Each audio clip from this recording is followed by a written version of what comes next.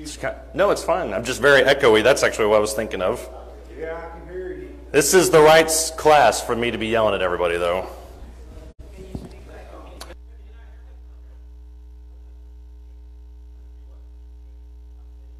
Yeah, that's actually my normal voice is tinny.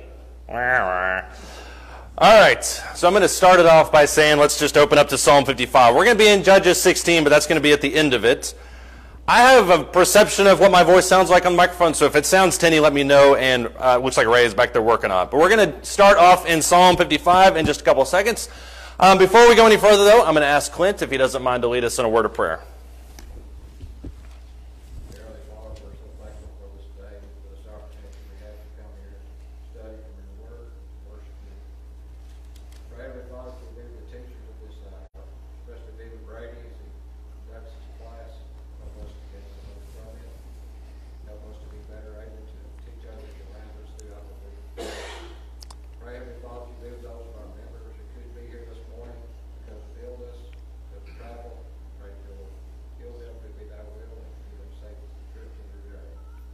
All these things we ask in Christ's name. Amen. Thank you. There's not really a good introduction for imprecatory prayer, so I'll just open up by asking what are imprecatory prayers? Okay, that is actually the correct answer. Those that imprec- imprecate is the pronunciation there. Okay, yeah, that's probably a good way to put it. Imprec- imprecatory prayers are prayers that call down curses or some kind of justice or judgment on somebody else. There's lots of biblical versions of this, as we'll get to here in a second, but is something like this ever A, biblical, and B, necessary? I kind of gave away the first answer. But are calling down curses of any kind just biblical at all? I was about to say, everybody feels like they knows the answer. They know the answer, but they don't want to say it. It is, it is in the Bible. It is biblical. Imprecatory prayers are biblical. What is the occasion for calling down imprecatory prayers? This, yeah, if Christianity is in jeopardy, if I feel like I need God to adjudicate in a certain situation, I think that can be an appropriate one. Yeah, Christianity is threatened.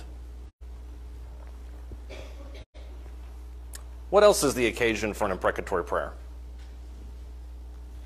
We're basically covering everything we're going to cover in the class in these first three minutes, so this, that's why this is confusing. Some of the uh, examples we give for, to allow the person to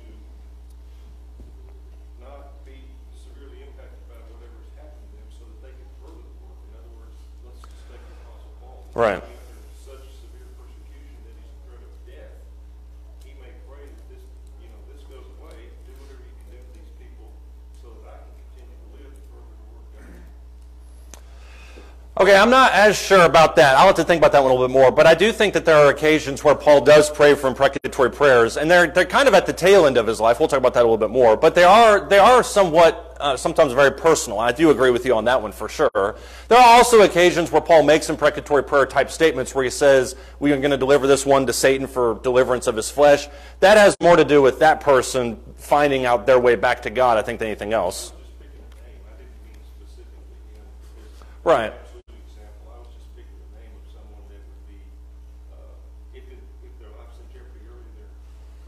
name.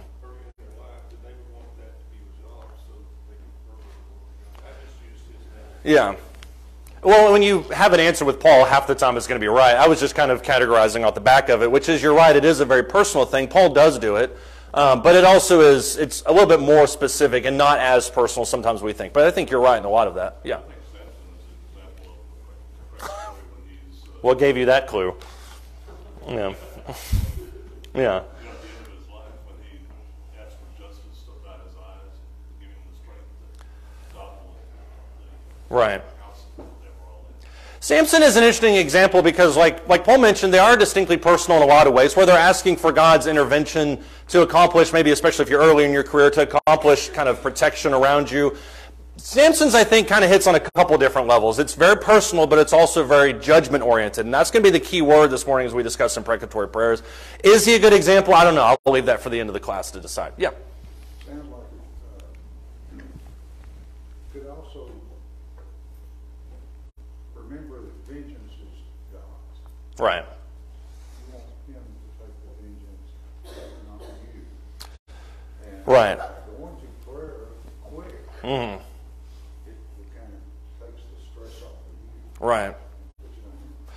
Right. So imprecatory prayers, as far as I understand, and I could be way off on this, because this is one of those conversations that most people don't talk about because it can be uncomfortable, but also because there's some confusion around why anyone would use this to begin with, which makes it probably the most controversial class that we'll do this entire quarter. But in my understanding of it, it all goes back to justice. You're calling down God's justice and his judgment on a certain situation. Think, for instance, Revelation chapter 6, where you have all the souls under the altar and they're crying out, How long, O Lord, until what? Until you avenge our blood that's on the earth. That is a very distinctly personal thing, but it is also in the nature of calling down judgment on somebody. What's the danger with something like that? Calling down judgment and justice. Because Job, you can argue, is an entire book of imprecatory prayers, albeit maybe sometimes on himself. That is one of the bigger issues, yeah, is you're passing judgment. But that being said, we all pass judgment every day about a variety of different things. And it should be judgment that's done with perfect, uh, use righteous judgment. Sorry, that's the word I'm looking for. I was going to say that we don't necessarily pass judgment to, to try to avenge ourselves or make ourselves feel better. Uh, that- We're not supposed to be doing that. Right. We're, s- we, it- passing judgment is basically making a decision one way or the other. But, but when you're making a judgment against somebody to be killed or to get to avenge yourself, that's, not- that's not what God wants you to do. You've hit one of the sticky parts of it, which is it seems unnatural or unnecessary for us to call down prayers like this. And that's another question we could ask. Is there ever an occasion for us to have this? It seems unnecessary and borderline immoral for us to call down prayers of judgment on people because that's not what we're supposed to be and, or do. And yet we see it in Scripture several times. David has several imprecatory prayers. You'd think if anybody didn't want judgment coming back on himself, it'd be somebody like him. So there's some stickiness to this. Anybody else have any thoughts? Yeah, Levi? Oh. No, you go ahead. You have priority. Because I saw you first.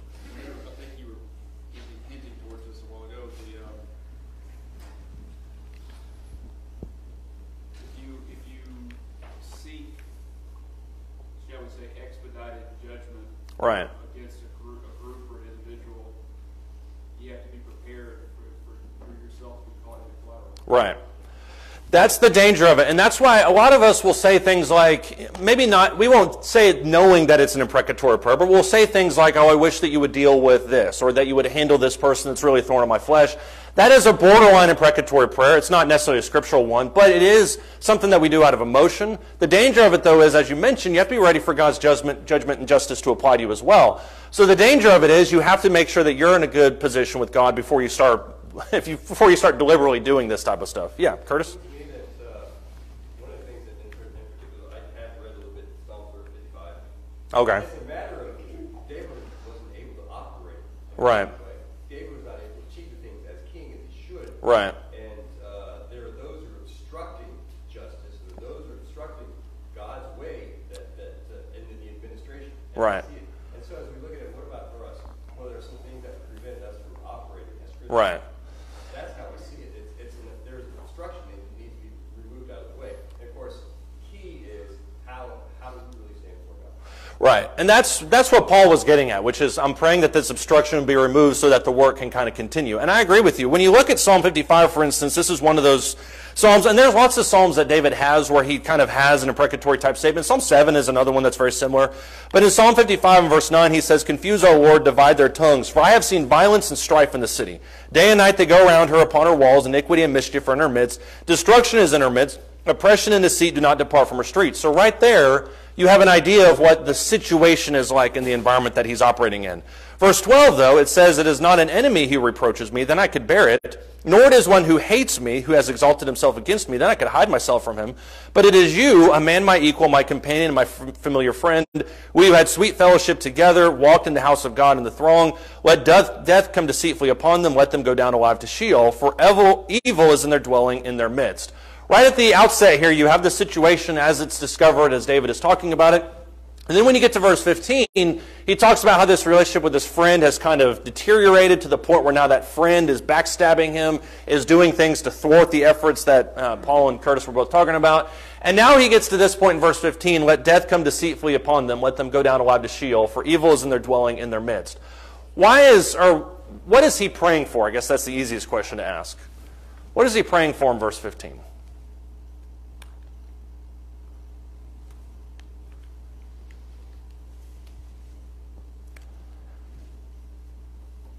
This is another one of those points where you know what he's praying for. You just don't want to be the one to say it. He does want them dead, and he uses very vivid language to describe this. When he gets to imprecatory prayers, he doesn't really mince words, and I think there's a reason for that that we'll talk about here in a second. But if you jump a couple chapters later to Psalm 58 and verse 6, he says, "O God, shatter their teeth in their mouth, break out the fangs of the young lions, O Lord." These are very emotionally charged statements that he makes that seem very out of character for somebody like David. Why is it that he's saying things like this, though? David is a very emotional person, as you can tell from the plethora of psalms that he has. But why is he saying things like this?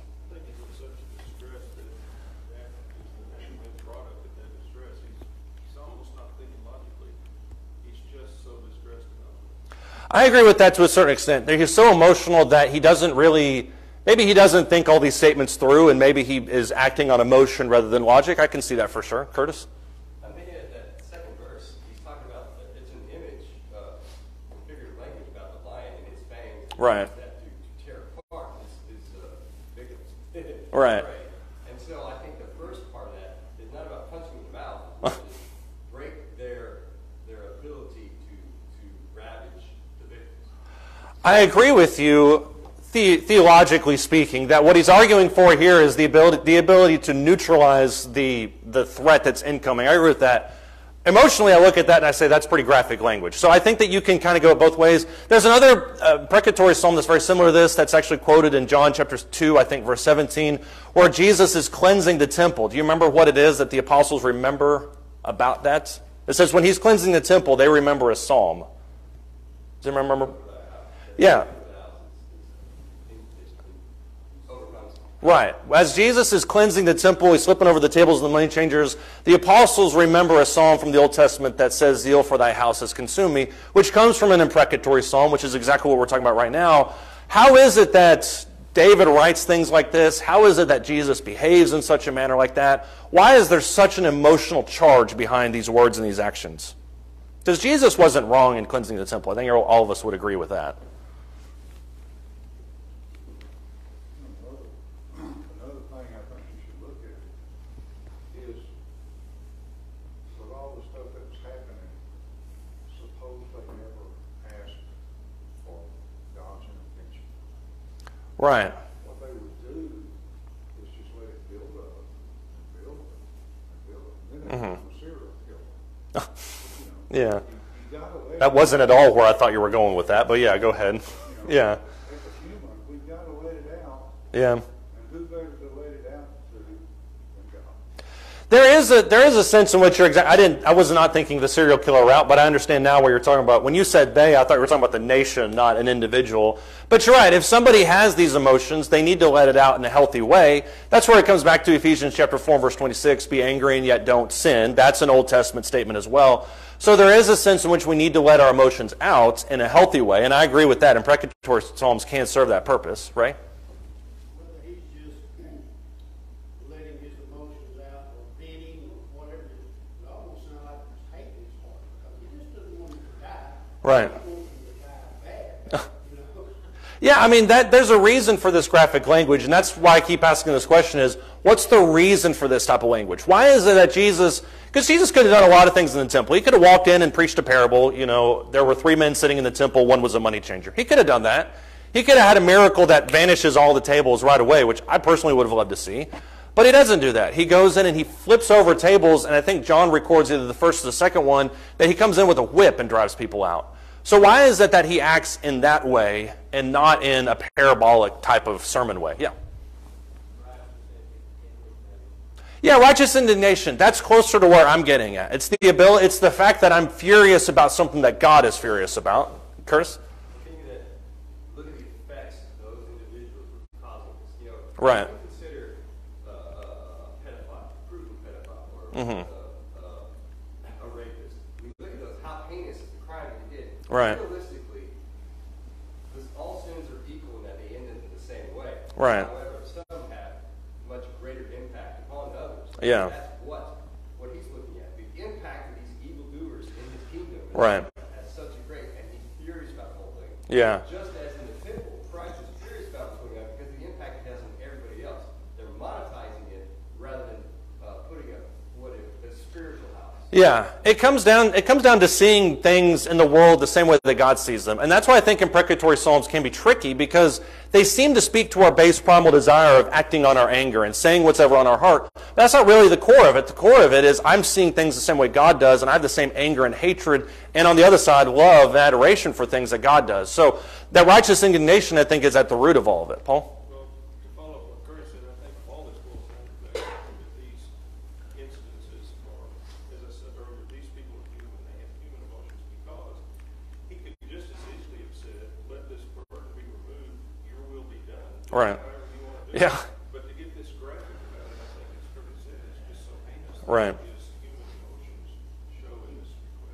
It could, for sure. I mean, and whether that's right or wrong, I think it's preserved because, at least in some way, it's something for us to learn from. And I think when you get back to the whole attitude of Jesus, I mean, he could have done a number of things. He could have walked in and said, Well, I'm just going to be a good example, or I'm just going to go in and try to talk to them privately. But he didn't choose to do that. He chose to act in the way he did because of the offensiveness of what he was saying. And I, that's an attitude that Lot did not have that I think is worth mentioning. Let's get Levi and then Debbie. Both Jesus in the temple and the, uh, especially the, the first one here, the example from David, um, I think they're losing that last line. They're, they're both, you used the word zeal earlier, they're both passionate about removing evil. Right. Purging the altar. Yeah. That's the thing that drives them. And how they accomplish it has to be biblical, but it also encompasses quite a bit of emotion as well. Yeah. I think in all of the prayers, you see that the person that's doing the prayer recognizes that these are enemies of God. Right. And because they're enemies of God, Mhm. then that's why they're so graphic and, you know, Right. recognize that. And like you said, it's, it's God's perspective. Right. Not their perspective so much as they recognize how God sees it. Right. Which also explains, go ahead, sorry. Which also explains why it's not, you know, why it's not us that's going in there with a sword and cutting people down. It's we're, we're giving room, as I think Joe mentioned earlier, we're giving room for the wrath of God. If you look back, by the way, back at verse 16, right after what we stopped with in Psalm 55, if you look in verse 16, this exact mentality permeates the rest of this thing. He says in verse 16, As for me, I shall call upon God, and the Lord will save me. Evening and morning and at noon, I will complain and murmur. He will hear my voice. He will redeem my soul in peace from the battle, which is against me, for there are many who strive with me. This is a good passage to kind of examine imprecatory psalms because David could have very easily taken matters into his own hands and done what? He has this friend who is obviously betraying him, stabbing him in the back, thwarting the efforts. What could he have done? He could have had him killed, that's fair, yeah. What did he choose to do? He chose to let God handle it. Now, here's the question about all of this. Why is it that he chose to let God handle this instead of taking matters into his own hands? Because he knew that God knew the situation better than he did. He would know Right. if it truly needed to be done. Right. And I think that's that's one of the other X factors in this whole thing is that God is a understanding that God is a much better diviner of justice than we are. We see a situation very two-dimensionally. I see it over there, I'm over here. I don't necessarily have a the other periphery information. I don't see the heart. I don't see the future of all these different actions. I also don't see the downfall of what my actions could bring about. And so as we look at things in a very 2D fashion, God sees it from every perspective. And ultimately, what we're calling upon here is God's will to play out in terms of justice for a situation. We're, and it also, I would argue, kind of leaves a lot less stress in our life that we just let God handle it instead of letting us handle it. Any other thoughts or comments? Let's look at Deuteronomy 32. We are going to get to Judges 16 eventually, in case you're wondering, but we're going to get to Deuteronomy 32 now. This is in the middle of this long sermon where these curses and blessings kind of come upon. Look in Deuteronomy 32, starting in verse 34. This is talking right uh, before this about the nations that threaten Israel and the enemies that they'll have in the area. And the temptation is obviously to just kind of take personal vindication, go after them yourselves. In verse 34 of Deuteronomy 32, it says, Is it not laid up and stored with me, sealed up in my treasuries? Talking about God. Vengeance is mine and retribution. In due time their foot will slip, for the day of their calamity is near, and the impending things are hastening upon them. For the Lord will vindicate his people and will have compassion on his servants when he sees that their strength is gone and there is none remaining bond or free. And he will say, Where are their gods, the rock in, whom, in which they sought refuge, who ate the fat of their sacrifices, drank the wine of their drink offering? Let them rise up and help you. Let them be your hiding place. See now, verse 39, that I, I am he, and there is no God besides me. It is I who put to death and give life. I have wounded. It is I who heal, and there is no one who can deliver from my hand. What's the point of imprecatory prayers, or at least leaving things in God's hands from those verses? Because there's a few other things that Moses brings up in this passage.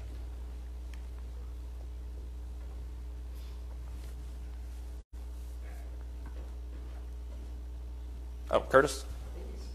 uh, founding on the uh, sovereignty of God. He's the ultimate power and authority, and that he alone makes decisions on.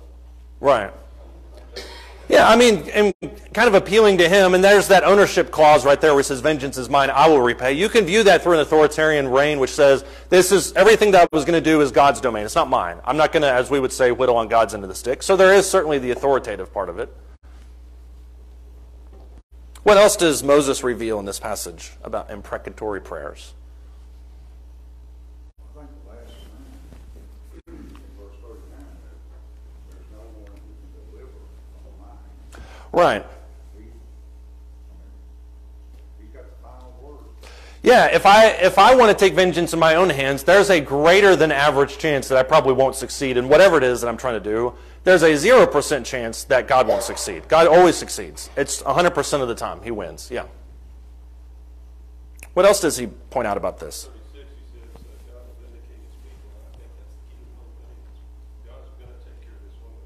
Thirty-six,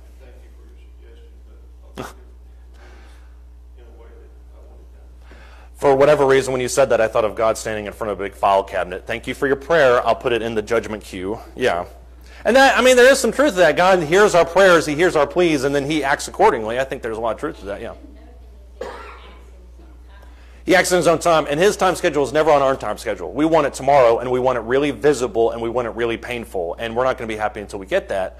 Fortunately, every every judgment that God passes down is so much greater and more important. It's truthful than what we would do. So, what else does He point out about this, Ken?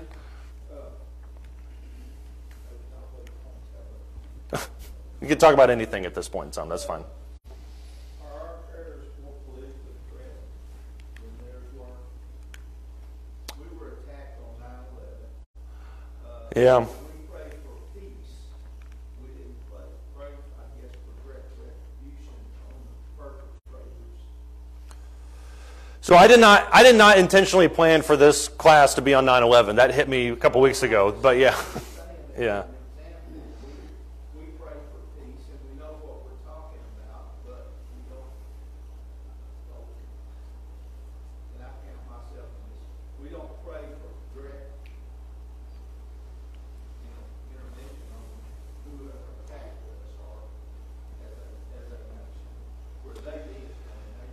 Yeah. I guess if I had thought about this connection a little longer, we would have had a whole different slide to talk about how 9/11 works in tangent or in in in parallel with imprecatory prayers because I think there's a lot of carryover. You know, the emotional charged nature of our prayers right after 9/11 is I want justice to be done now. And when I say justice, what I mean is I want the entire country nuked. Everyone that's over there that had any part of this, I want them all dead. That's what I want. I want their bodies to be displayed because they did something like this that hurt us. But then there's the perspective of it to say, okay, well maybe there's people that didn't, you know, didn't have a part in that, so maybe I don't want the entire country nuked. But then it's ultimately goes goes back to I want God to vindicate us, but it's not a Christian nation as much as it is just a heinous, sinful attack on people. So, you know, where does this all kind of come together? I think praying for justice to be done on the hijackers or justice to be done on the people responsible for it, I don't think there's anything wrong with that as long as we don't come from an overtly I hate you prayer stance. So maybe that's wrong of me, but that's where I'm at on it.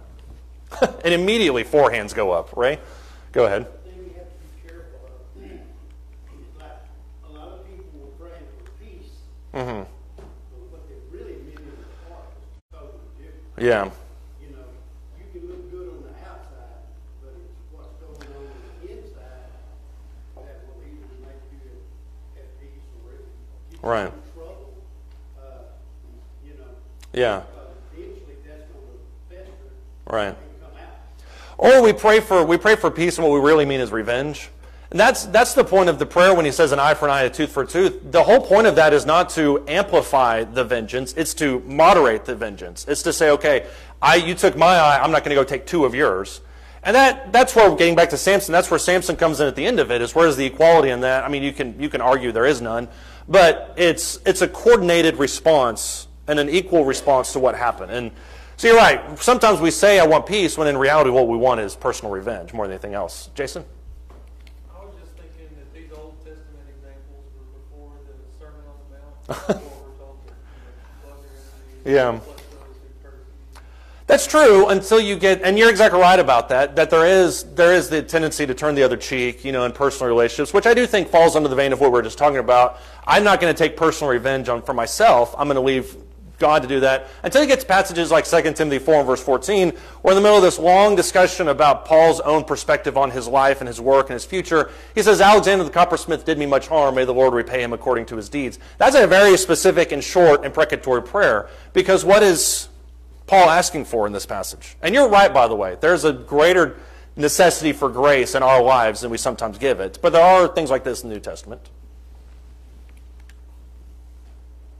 Curtis? I, basically, Paul's not looking at vengeance, he's just saying that the natural, uh, consequences of what he's done and the effect he's had on, not just Paul, but upon those that Paul may have been able to influence, Right. that he would receive a just reward based upon what he's done, I mean, according to God's will. Yeah.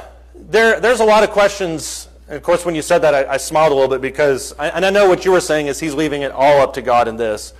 It would be foolish of us to say that there's no emotion behind these words. And because when you, when you read something like this, it's hard not to think of, for instance, Demetrius in Acts 18 in Ephesus, who raised up everybody against Paul and basically threw him inside of a huge amphitheater, humiliated him, threatened him with death, and all these different things. There are people, it seems like, in Paul's life, and 2 Timothy 4 is full of this. There are people in Paul's life that he wants to highlight for good or bad reasons. Alexander is a, a bad one, obviously. But he's leaving it purely in the hand of God, and he says whatever is going to happen to him in due, in due course is going, to take, is going to take place. I was thinking, for instance, Herod in Acts chapter 12, who killed Peter, and by the end of the chapter, he's eaten by worms. So whatever happens is going to take its due course eventually. Yeah, Paul? That's exactly what I was gonna say. Okay. I hate it when Curtis does that to you. Does that to me, but he does it much more eloquently than me, for what it's worth. Yeah. Um, any other thoughts or comments? Yeah, Karen.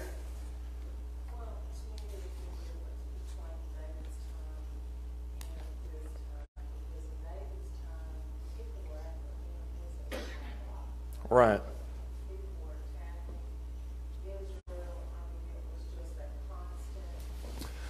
Right. me,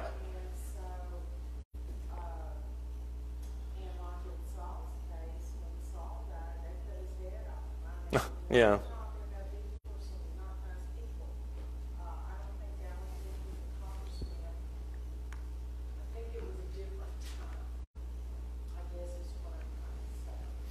My opinion of that always is that the clothes are different, but people are relatively the same. Um, that's just my personal opinion. But you're right. I mean, it is it is a much more persecution intense time. So that brings the question: Are imprecatory prayers necessary for today's world? And I'll let everybody chew on that for a couple minutes while we talk about other stuff. But I think there are. I do think that there are occasions when imprecatory prayers are not only important, but sometimes very useful. So that's just my personal opinion. We'll talk about that more here in just a second. I want to finish up this thought in Deuteronomy 32. We asked the question about why, you know, what, what's he asking for? If you look in verse 36, kind of, mostly in verse 37, I think you see another really important purpose of imprecatory prayers. In verse 37, it says, He will say, Where are their gods, the rock in which they sought refuge, who ate the fat of their sacrifices, drank the wine of their drink offerings? Let them rise up and help you. Let them be your hiding place. See now that I, I am He, and there is no God besides me. What other purpose does imprecatory prayer serve? And this is why I think it's really important and does serve at least some purpose in today's world. What do these prayers teach us? Exactly. If I, No you can pray to anybody else you want to, right. Yeah, you can pray and talk to whoever you want to, but those people are toothless. They have no, there's no power within them. If, I, if I'm attacked as a nation, or if I'm, a, I'm not a nation, if I'm attacked, and I don't know why I'm thinking of everything in terms of lawn care, but if my neighbor attacks my yard and I go over and attack their yard, there's nothing learned there. It's just two people angrily fighting against each other with lawnmowers. There's no purpose in that. If God's people are, blown to smithereens within an inch of their life, and they somehow come back, and not only come back, but dominate the nations around them, that's not a testament to the people. Who is that a testament to? 100% it's a testimony to God. And so, for allowing God to intervene and let these things take their natural course, it gives all the more authority and glory to who God is rather than me and my own power. And I think that's a big part of imprecatory prayers, too. I'm going to take my hands off the wheel. I'm still going to do what I need to do and still going to move on and still ask for help and still do what's right. But the vengeance aspect of this is in your hands. That's where I'm going to leave it. John? Well, when you go back to verse thirty-six, you know, for the Lord will visit his people and will have compassion on Right. them. You know, Yeah. So God is gonna take care of us. Right. And it also we didn't I'm glad you mentioned that because it also it also talks about the nature of revenge to begin with. I mean, if we are people who are wrapped up with taking our own vengeance and our own revenge, that's just going to turn our lives in a knot and it's going to turn us upside down. By giving those things to God and letting God handle that, that frees us to focus on good things that we should be doing rather than taking revenge. I think that's a good point. Does anybody else have any thoughts or comments on that? Everybody right now is thinking of that person, so we'll move on. I think there are a couple of things we need to know about imprecatory prayers. Imprecatory prayers always, number one, leave judgment in the hands of God, 100% of the time. They never, it's never, you know, God, you're going to do this, and while you're doing that, I'm going to slash their tires. That's never the idea. It's always in the hands of God. He has his perfect judgment. He dispenses it as he wills. We always ask for justice, not revenge. What's the difference between these two things? We've talked about it a little bit so far. Justice is a correct application of the law, in this case, the spiritual law. Revenge is just retaliating, not, not a perfect basis. Right, that's exactly right. Justice is always a correct application of the law, and revenge is always retaliatory in a personal nature, which leads me to the third point, which is that imprecatory prayers are never personal. A wrong application of imprecatory prayer would be this guy took my parking spot. I'm going to ask for God to adjudicate in this situation and remove his car from the spot so that I can move. That's not imprecatory prayer. What is an imprecatory prayer? If it's not personal, then what is it? Well, what about where? Are you going to ask about the other parking spot? Because that's fine too. Okay. Go ahead. Okay. Yeah.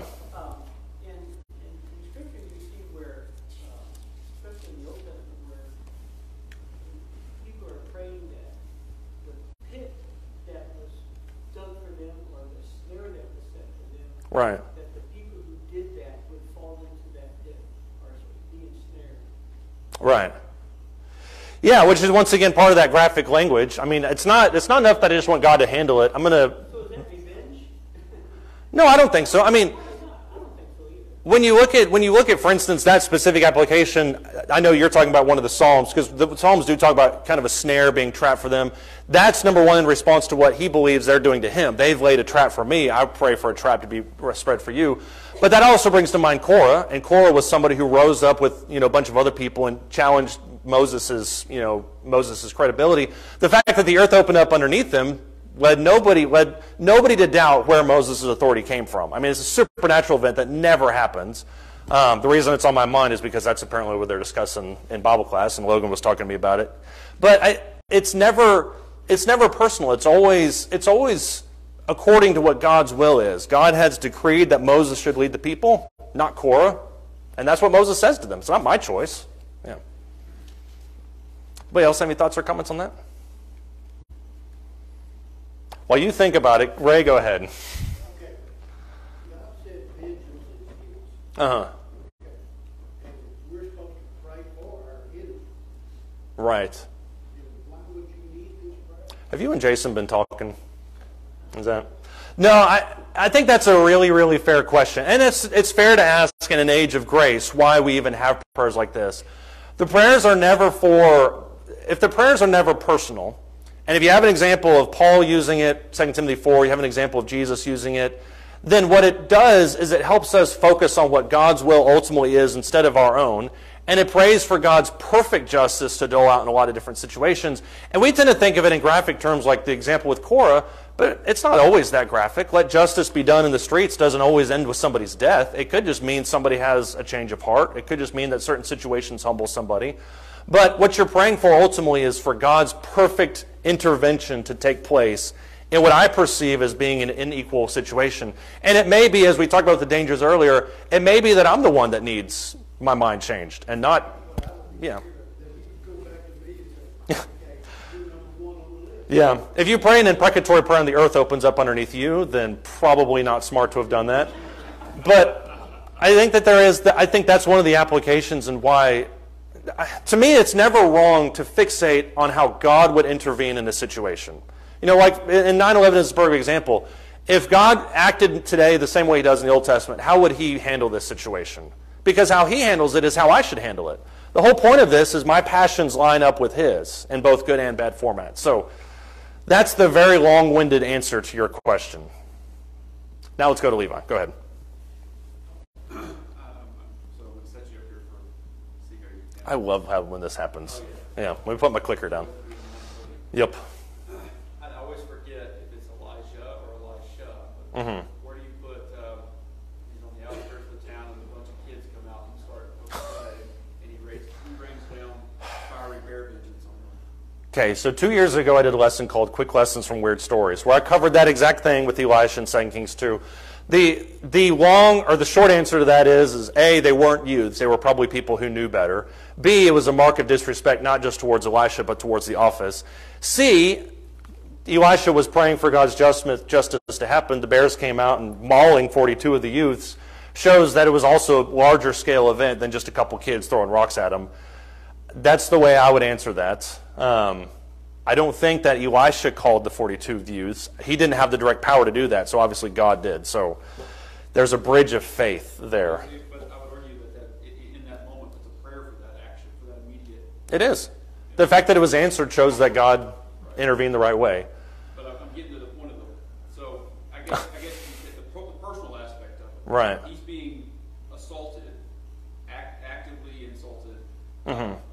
However, I think, I think where you hit it was the, uh, it's also an attack on his position as, Right. a spokesman for God. So, not, not just him as a person. Right. Okay. If you track Elisha's interactions with Elijah, it seems like in, in 1 Kings 21 that Elisha comes onto the scene relatively early. So he would have been familiar with a lot of the personal attacks on Elijah. That would have been right after Mount Carmel. So he would have been familiar with a lot of the personal attacks. I would like to think, and maybe this is me wishful thinking, I would like to think that he developed a measure of maturity to not let something like that bother him. I do think, on kind of a tangent, it's a, it's a bigger in the nation at large that they're willing to humiliate his office. I mean, you don't know of many other prophets besides Elijah at that time. 7,000 that haven't bowed the knee to Baal leaves about 800,000 that have. So there, it's a very unhealthy situation, and I think it shows the disrespect that they have towards God. So, yeah. There you go. You got one third of the sermon, so I guess the sermon today will be a third shorter. Go ahead, Curtis. You know, it, it strikes me even more uh, starkly how Paul was so grateful for the grace that was shown to him. Right. Knowing his history, that justice wasn't done to him right away. Right. He was given the opportunity and he did change. Yeah. And so I, I, I think about the, the, the prayers for justice. What if there an individual who can change and that things are going on are in preparation for that person? Right. And see, that's the thing John brought up earlier about that exact same concept, which is, you know, we don't we don't wish for revenge. We don't dole it out ourselves because we don't have the perfect picture. We operate in a 2D platform. We don't have the full picture of what's going on. And it may be that God is not allowing justice to take place at this moment because he knows a year, 10 years from now, it's going to affect something greater for the kingdom. And I mean, Paul is Paul is upfront about that. And I think I never remember if it's first or second. But in Timothy 1:16, he talks about his example of grace as a testimony that everybody can have grace. And we talked about last week, if every situation was Ananias and Sapphira, then who would be who would even be sitting here right now? So justice being done perfectly doesn't just involve the the severity of it, it also involves the timing of it. And I think there's a lot I think there's a lot of truth to that for sure. One of the other things that we know about imprecatory prayers is that it always has a purpose. And that kind of goes to what we were talking about there a second ago with Curtis and earlier with John. In Romans chapter 12, for instance, and we won't, uh, we won't read all of Romans 11, but if you look at Romans chapter 11, the first 12 so verses, he talks about the nature of the relation between Jews and Gentiles, and there's a lot of animosity between there. If you if you read mostly 11, there's some in 10 and a little bit of 9, but there's a lot of animosity, and all of Romans 11 is talks about the old root taken out, the new one's grafted in. There seems there needs to be a relationship there between each other. Romans 12, on the other hand, kind of operates as this practical application of the theological statements of Romans chapter 11. And so he's just kind of hitting bullet points here. Most people think that Paul meant to end his letter in 12. He just kind of kept going after that for whatever reason. But if you look in verse 14, he hits these very bullet point type things. Romans 12 and verse 14. He says, Bless those who persecute you, bless and don't curse. Rejoice with those who rejoice, weep with those who weep. Be of the same mind towards one another. Don't be haughty in mind, but associate with the lowly. Don't be wise in your own estimation. Now he goes into the revenge territory. Never pay back evil for evil to anyone. Respect what is right in the sight of all men. If possible, so far as it depends on you, be at peace with all men. Never take your own revenge, beloved, but leave room for the wrath of God. For it is written, Vengeance is mine, I will repay, says the Lord. If your enemy is hungry, feed him. If he is thirsty, give him a drink. For in so doing, you will reap burning coals on his head. Do not become overcome by evil, but overcome evil with good.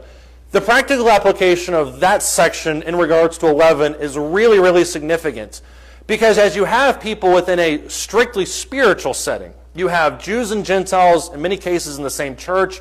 They both believe in the same God. They're both striving. Yet there's some, there's some animosity and some tension between there.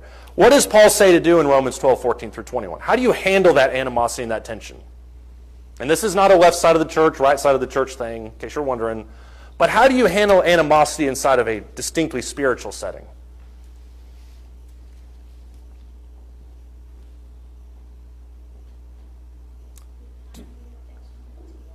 Be kindly affectionate to one another. Yeah, I like that translation. That's a good one. Mine uses something much more blunt than that. yeah, don't take everything personal. Enter the parking lot conversation. Yeah, don't take everything so personal. What else does he say?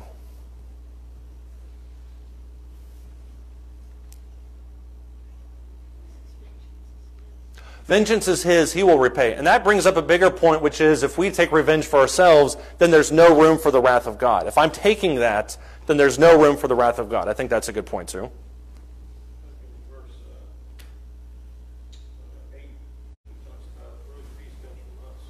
Right.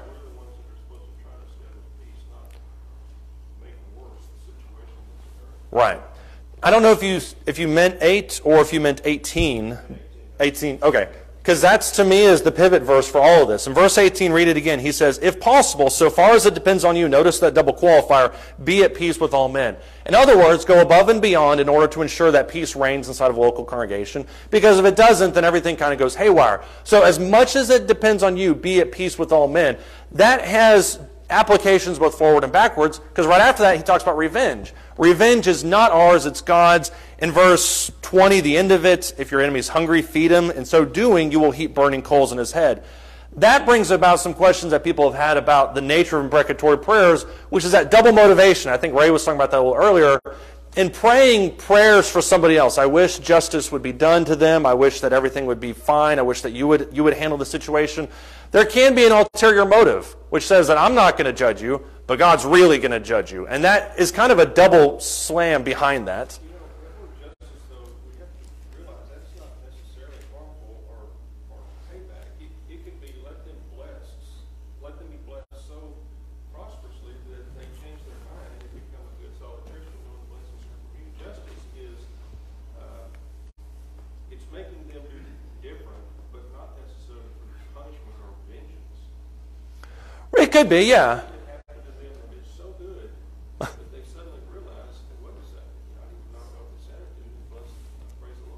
I agree with you. In in theory, it can be that somebody who is not doing what they should be doing, you know, has some kind of good blessings come from God, and it wakes them up to the reality of where all blessings come from. In theory, that's right. I don't know if in in, in everyday terms, if maybe that always plays out.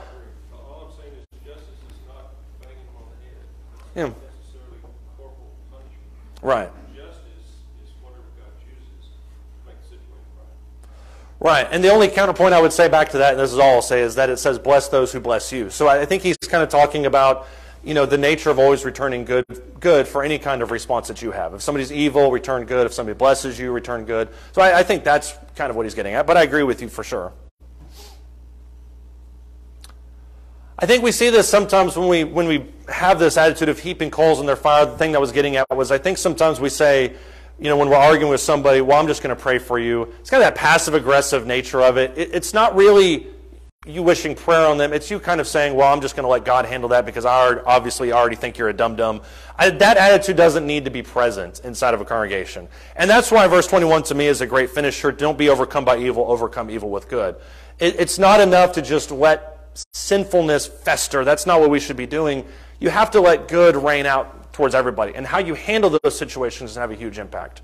Curtis? During a heaping coals of fire- fire on their head, I have heard two different, different ways. One, he said, primarily what I first heard was that in the olden days, when you, your neighbor, your, everyone had to heat their, their coals. burning. So they had a fire for cooking and stuff. Right. If their, if their coals go dry, go cold, they don't have a fire, and so they go to their neighbor and say, hey, can you help me this? So they, they borrow or use some of your coals. Mm-hmm. And so they would carry it on their, the, the, carrier, the coal carrier, they put it on their head and carry it back home. So they're heaping coals of Yeah. fire upon their head as doing them a favor of, of a, a great essential service to them. I like that. I've always thought of it as just pelting people with charcoal. That's, I mean, that's the way I've always seen it. Yeah. Culture, that's how we view it. Yeah. Yeah. Having heard that, so it's Yeah, I've actually never thought of that before. I think that's a good, if that is the, the exact meaning, I think that's a great way to put it. I've always kind of equated this with what uh, Jesus talks about in, um, in the Sermon on the Mount. I can't remember the exact phrase, where he talks about um, turning the other th- cheek, I think is what Jason mentioned earlier. But it's about, you know, if somebody, if somebody is mean towards you, you repay them with kindness because it, it ultimately shows, well, it ultimately lets God handle that. You've done your job. Let God handle it from there. I, that was a horrible explanation. My mind just went completely blank on that. Levi? piggyback off of that, maybe. cut it out. The, i- we might say kill them with kindness. Maybe that's what I was thinking of. Yeah. And the, the idea behind that, if you really think about it, is to, if somebody, if somebody does something, commonly we use the term evil towards you, Right. um, and you don't react in the manner in which either they expect or possibly even want it. Maybe they, Yeah. they- sometimes people just like to pick a fight.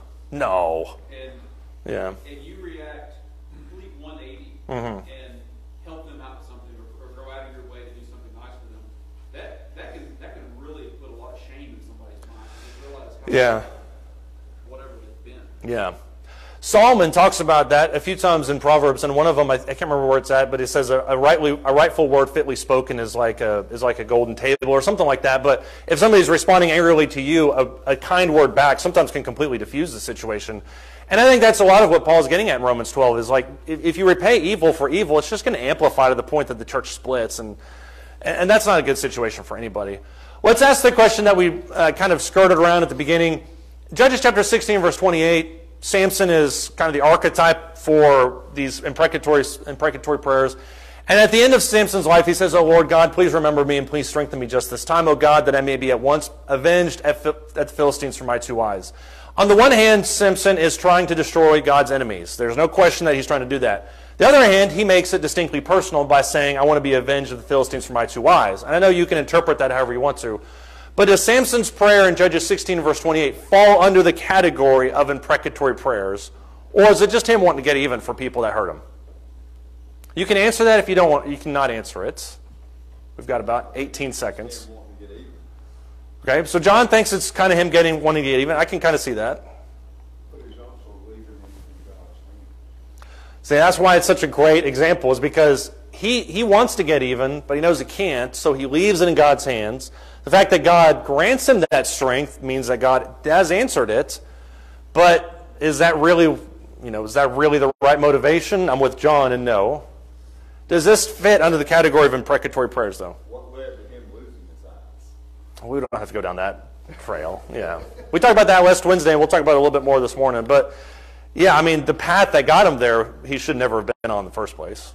I think John's right because he says that I would be avenged. It's kind of personal thing. It's not about God's will. It's not, you know, so I think that John's right. It's- Right.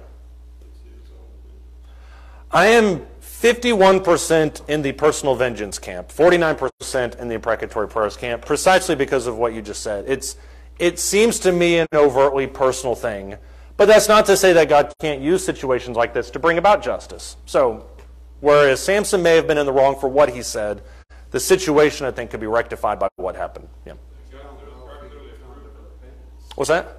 You don't know if he came to repentance there. Well, I think he died right after this, but he might have. I mean, maybe it was repentance before that. Yeah. To it and everything. Yeah. And that's totally true. That's a valid point. Levi? I'm God clearly approved of it, regardless of Samson's motivation. Yeah. God approved of this action and gave him the strength to do it. He couldn't have done it on his own. That's true. But once again, was God using the situation or was Samson right? That, and that, that's not really a question you can answer in a setting like this, but I do think it's something worth thinking about for sure.